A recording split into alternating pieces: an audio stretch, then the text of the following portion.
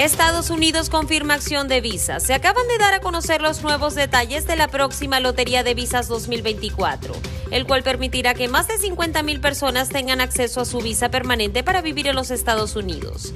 Dicho programa está a cargo por el Departamento del Estado.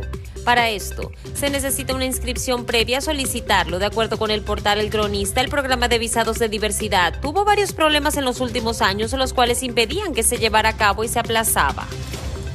El programa de visado tuvo una serie de problemas este año, algunos debidos al COVID-19, según el portal El Cronista. El expresidente de los Estados Unidos, Donald Trump, en el 2019 dio la indicación de la gente que ya tuviera tramitada su visa podría volver a postularse. A continuación mencionaremos cuáles son los países que no podrán participar en la lotería de visas. Los ciudadanos de Bangladesh, Brasil, Canadá, China, Colombia, República Dominicana, El Salvador, Haití, Honduras, India, Jamaica, México, Nigeria, Pakistán, Filipinas, Corea del Sur, Reino Unido, Venezuela y Vietnam.